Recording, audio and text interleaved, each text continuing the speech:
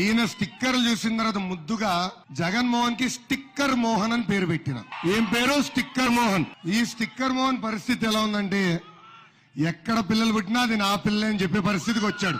నేను కో- మీ ఉదాహరణ ఇవ్వాలా? బాబు గారు టిట్కో ఇల్లు యుద్ధ ప్రాతిపదికంగా తొంభై శాతం పనులు పూర్తి చేస్తే ఈ స్టిక్కర్ మోహన్ వచ్చి రంగులు పూస్తాడు. రంగులు పూసి ఈ రోజు మీటింగ్లో అంటాడు నేనే ఇల్లు కట్టినా నేనే ఇల్లు కట్టినా ఏం చెప్పాలా?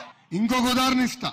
ఈ స్టిక్కర్ మోహన్ ఎన్నికల ముందల వెయ్యి రూపాయలు దాటిన అన్ని జబ్బులు ఆరోగ్యశ్రీ కింద కవర్ చేస్తా అని చెప్పాడు. ఇప్పుడు ఎన్నికలు గెలిచిన తర్వాత పాపం ప్రైవేట్ ఆసుపత్రులకి ఆరోగ్యశ్రీ బిల్లు చెల్లించట్లా. వాళ్ళు ఇంకా చెప్పారు ప్రభుత్వం బిల్లులు చెల్లించట్లేదు పేద ప్రజలకు మేము వైద్యం ఇవ్వలేమని చెప్పారు. ఇప్పుడు కొత్త విధానం తీసుకొచ్చారు. ప్రజల్ని మబ్బి పెట్టే విధానం. అదే ఫ్యామిలీ డాక్టర్. ప్రభుత్వ ఆసుపత్రిలో కనీసం దూది ముందలు ఇవ్వలేని వ్యక్తి ఫ్యామిలీ డాక్టర్ వ్యవస్థ తీసుకొస్తారని ఒక్కసారి మీరు ఆలోచించాలా?